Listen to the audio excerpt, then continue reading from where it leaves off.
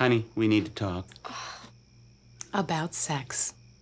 Yeah, we think you should be having it, sweetie. A lot of it. Get out there and nail everything you can. If it's got a pulse, you should be wrapped around it. What if I get pregnant? So Oh, what?